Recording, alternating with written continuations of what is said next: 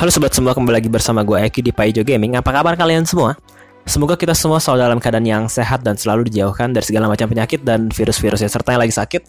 Doain semoga kalian cepat sembuh. Amin. Oke, baik lagi bersama gue Paijo Gaming dan balik lagi ke dalam series tanya jawab seputar game GTA San Andreas lagi. Ya, udah agak lama ya nggak kita lanjutin ya. Dan pertanyaan kali ini datang dari sobat Paijo yang menanyakan, kenapa Carl Johnson itu tidak dapat mengambil wilayah geng di kota San Fierro?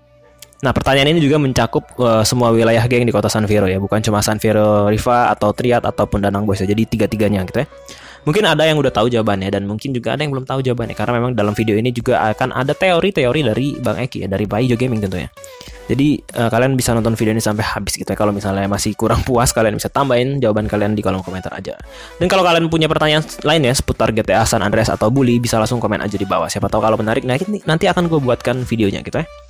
Dan seperti biasa, jangan lupa untuk memberikan like dan subscribe terlebih dahulu serta follow Instagram gue juga di @paijogaming.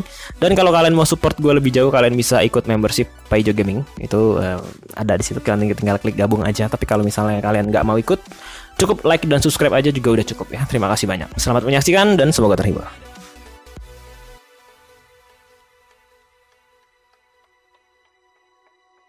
Baik, sebelum gue menjawab pertanyaannya, terlebih dahulu gue akan sedikit menjelaskan tentang wilayah gangster atau wilayah-wilayah yang terdapat di kota San Fierro yang bisa uh, yang ada gangsternya gitu ya.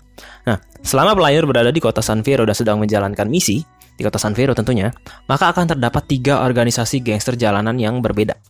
Nah, di kota San Fierro itu terdapat tiga gangster. Yang pertama adalah geng San Fierro Riva yang merupakan organisasi gangster jalanan berasal Meksik uh, berasal dari Meksiko Hispanic yang mana San Fierro Riva ini tuh diketuai oleh seseorang yang bernama Tibon Mendes. Nah, San Fierro Riva itu menguasai daerah Garcia, daerah Doherty, daerah Kings dan juga daerah Battery Point. Nah, dalam gambar ini wilayahnya geng San Fierro Riva itu ditunjukkan pada warna biru. Lalu, kegiatan utama dari San Fierro Riva itu adalah berkaitan dengan narkotika karena San Fierro Riva itu juga dibawahi oleh organisasi Loco Syndicate yang merupakan organisasi narkotika di kota San Fierro. Kemudian, organisasi gangster jalanan kedua bernama San Fierro Triad yang merupakan organisasi gangster jalanan yang berasal dari Asia, secara khusus dari kota, uh, daerah China ya. Nah, selama player berada di kota San Fierro, player cukup sering berafiliasi dengan geng San Fierro Triad. Karena ketua dari San Fierro Triad, divisi Mountain Cloud, itu dipimpin oleh sahabatnya CJ, yaitu si Wuzi atau Wuzimu. Organisasi triad ini itu menguasai beberapa wilayah di kota San Fierro seperti di daerah Chinatown, kemudian uh, yang yang menjadi basis mereka ya di kota San Fierro itu daerah Chinatown, kemudian wilayah Carlton Heights dan juga sedikit wilayahnya Kings yang berbagi langsung dengan wilayahnya San Fierro Riva. Pada gambar ini, wilayahnya Triad itu ditunjukkan pada warna merah menyala, serta Triad juga memiliki wilayah di kota Las Venturas, namun tetap yang menjadi basis utama jalanan mereka itu di kota San Fierro ya, karena di Las Venturas itu nggak ada gangster jalanan, mereka mafia mainnya. Nah kemudian Kegiatan uh, San Fierro Triad itu hampir sama seperti organisasi gangster jalanan pada umumnya seperti peperangan geng, pembunuhan, penyeludupan, penyuapan, perjudian, dan balap liar. Serta terdapat fakta yang cukup keren dari San Fierro uh, Triad itu adalah Organisasi ini merupakan salah satu organisasi gangster jalanan yang sangat anti dengan narkotika. Jadi memang uh, ribut, ribut, ribut tapi anti narkoba ya. Ya sebenarnya ada baiknya juga sedikit. Serta juga merupakan musuh bagi organisasi lain yang menjalankan bisnis narkotika seperti San Fierro Riva maupun Balas. Ya, musuhan juga itu ya. Tapi tetap eneminya ya Danang Boys ya, bukan Danang Boys dan Riva sebetulnya. Nah kemudian, organisasi gangster yang ketiga di kota San Fierro itu bernama The Danang Boys yang merupakan organisasi gangster jalanan yang berasal dari Asia juga. Namun lebih spesifik, mereka ini berasal dari kota bukan dari negara Vietnam. Dan selama player berada di kota San Fierro, Carl Johnson itu juga akan beberapa kali berhadapan dengan geng Danang Boys ini. Karena geng Danang Boys itu juga merupakan musuh utama dari geng San Fierro Triad. Dan CJ juga pernah membantu Triad untuk membunuh ketua utama dari geng Danang Boys, yaitu The Snakehead, di dalam misi The Danang Tang.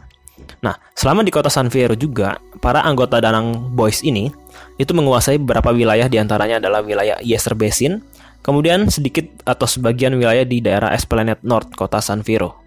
Ya, wilayah mereka memang ditandai dengan warna jingga pada peta ini. Dan memang wilayah mereka itu berdekatan dengan area pelabuhan. Kenapa areanya berdekatan dengan pelabuhan? Karena kegiatan para geng Danang Boys ini selain uh, seperti apa kegiatan gangster jalanan, mereka juga melakukan penyeludupan dan perdagangan manusia dari Vietnam menuju Amerika. Dan memang di dalam dunia nyata juga terdapat beberapa kejadian uh, perdagangan manusia dari Vietnam ke US ya. yang dilakukan oleh para gangster jalanan melalui kapal laut dan diadaptasi juga di dalam game GTA San Andreas ini dalam misi The Danang Tang gitu ya. Nah, jadi selama player di kota San Fierro itu terdapat tiga organisasi gangster jalanan yang berbasis di kota San Fierro ini. Pertama ada San Fierro Riva, kemudian ada San Fierro Triad, dan ada The Danang Boys. Dan wilayah mereka itu juga cukup luas dan merupakan wilayah yang potensial semua. Lalu, Mengapa Carl Johnson itu tidak bisa mengambil alih wilayah-wilayah tersebut atau mengambil alih uh, organisasi gangster tersebut ya wilayah dari organisasi gangster tersebut di kota San Fierro? Kita akan jawab di sesi berikutnya.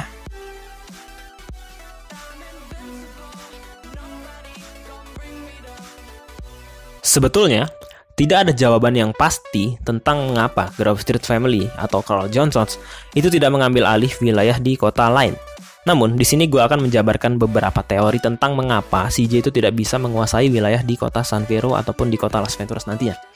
Teori pertama adalah kemungkinan CJ dan Grove Street Family itu memang tidak berkeinginan untuk menguasai wilayah di luar wilayah mereka di kota Los Santos. Salah satu tandanya adalah ketika dalam misi Homecoming, kita lihat kasihnya sebentar. Hey man, we off to our new spot. We got a mansion, sweet. We've been putting in work. And shit is going well. We got a stake in the casino, we got some insane shit in Fierro, we get into the rap game. Hey man, let me get you some new clothes, come on. New clothes? Nigga, what the fuck is this bullshit? What you mean, man?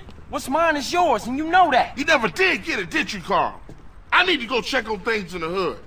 Man, that's the problem. You always a perpetrator, running from what's real. Hey, man, shit's fucked up there. You don't want to be in the hood? No, that's exactly where I want to be. What you done for our hood? Man, what the hood done for me? Always dragging me down. Ever since I got out the hood, shit been cracking. That's everybody dream to get out the hood. Man, you sound just like Smoke right now.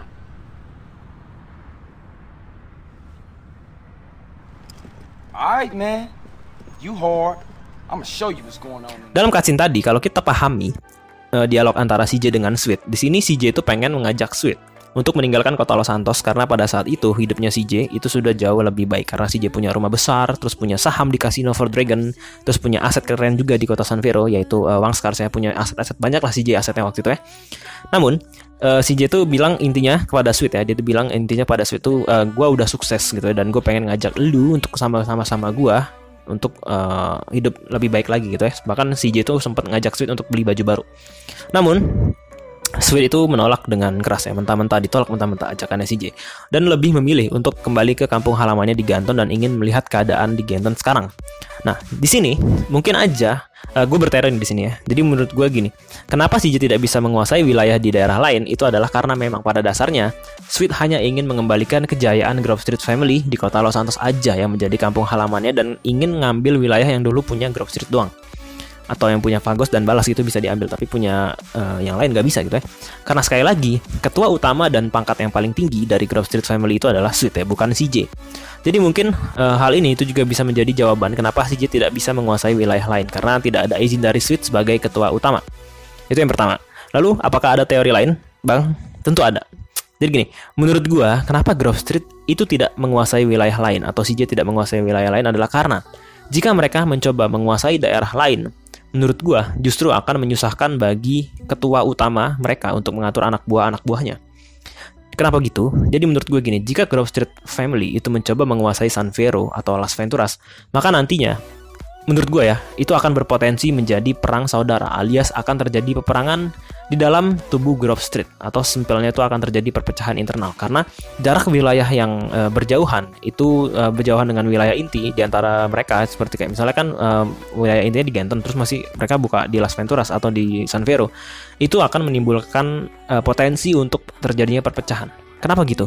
Jadi ada salah satu contoh ya. Salah satu contohnya adalah wilayah Seville Boulevard dan juga Temple Drive yang mana pada saat uh, sebelum misi Reunting the Family mereka ini kan terpecah nih eh, jadi ada Grove Street Family Seville Boulevard dan juga ada Grove Street Family Temple Drive yang mana Perpecahan itu terjadi salah satunya adalah karena Sweet tidak bisa memimpin dengan benar. Maksudnya gini, dengan adanya wilayah di kota Los Santos aja, si Grove Street Family itu sempat terjadi perpecahan internal.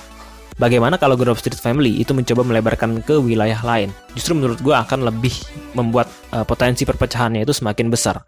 Dan yang ada nanti malah terjadi peperangan internal di antara Grove Street family. Maksudnya gitu ya. Jadi kalau misalnya ibaratnya gini pas di Los Santos aja suite-nya nggak benar sekali itu Seville Boulevard dan Temple Drive itu itu mulai mau pengen cabut mau mulai pecah.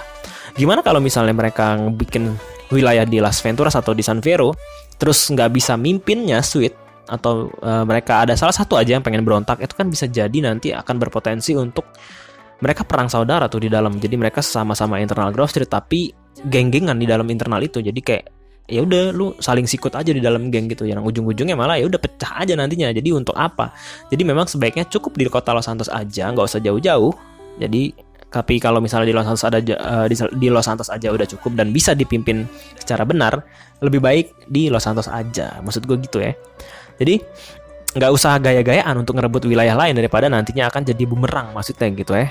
Jadi mungkin itu adalah teori kedua gua kenapa CJ tidak mau menguasai wilayah lain ya. Mungkin CJ beranggapan bahwa kalau misalnya uh, dikuasai daerah lain itu akan berpotensi untuk uh, terjadi perpecahan. Tapi apakah bisa sebetulnya untuk menguasai wilayah lain? Ya bisa pakai mod. kalau misalnya sesuai storyline sih nggak bisa ya. Tapi kalau misalnya pakai mod atau modifikasi gamenya ya ya bisa-bisa aja orang ada kok cheat recruitment atau cheat gangster jalanan nanti si Grove Streetnya ada di daerah apa namanya di daerah Doherty atau di daerah uh, Las Venturas Death Strip itu ada. Cuma ya kalau misalnya menurut storyline kalau menurut uh, merunut ke storyline itu jawabannya sih nggak bisa gitu. Dan gue juga udah punya teori tadi dua. Dan gue rasa video cukup sampai di sini aja kurang lebihnya gue mohon maaf. Kalau kalian punya teori sendiri tentang pertanyaan ini kalian bisa langsung jawab aja di kolom komentar di bawah ya. Terima kasih telah menonton dan sampai jumpa di video selanjutnya bersama gue Paijo Gaming. See you sobat semuanya